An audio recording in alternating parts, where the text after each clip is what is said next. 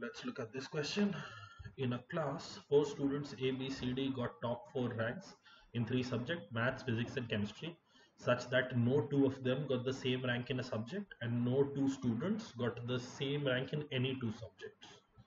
Okay, we know the following information. First, let me make a table where this can be represented. There will be maths, physics and chemistry. The student who got the first rank in mathematics got the fourth rank in physics. Okay, so first rank in mathematics and fourth rank in physics comes together. The student who got second rank in chemistry got third rank in physics. Second rank in chemistry, third rank in physics, and A got the second rank in physics. So A got the second rank in physics. A is here okay. Now I don't know who comes here above A in this line we don't know who comes. But this person will either get one rank or four rank here because one is already available to somebody else in mathematics.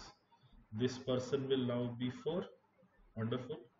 Now A in mathematics will either get 2 or 3 he cannot get 2 because physics already he has rank 2 so this will be 3 and the last person who is left will necessarily have rank 2 and the same person will also have rank 1 in physics.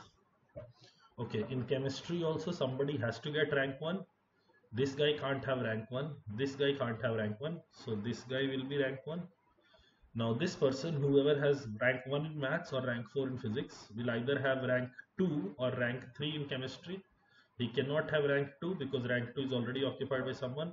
So this will be rank 3 and therefore this last person here will have rank 4 we don't know if B comes here C comes here or D comes here but we know those three have to get accommodated there. Let's look at the individual questions. What rank did A get in chemistry? In chemistry A has got rank 1 therefore the answer to this question is option A if the absolute difference between the ranks of A and C in chemistry is 3 A and C in chemistry. A has 1 so C would have to be here. So we are looking at a case where C is here. Then what is the absolute difference between the ranks in mathematics?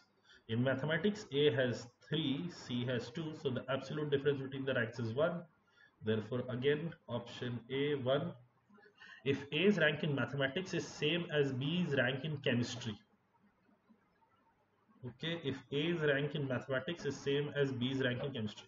Remember this is no longer C because this was something that was only specific for question 2 now that information is no longer valid.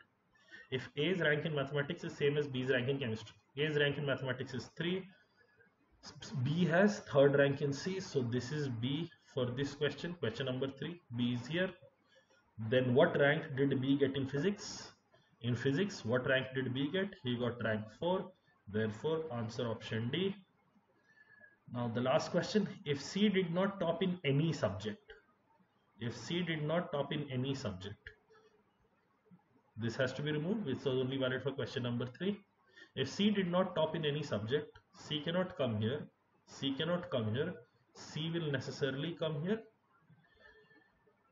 and the difference of sum of ranks of B and C is 1 sum of ranks is of C is 9 sum of ranks of this person is 8 sum of ranks of this person is 7 we've been told and sum of ranks for A is 6 difference of sum of ranks of C and B is 1 9 and 8 so this is B.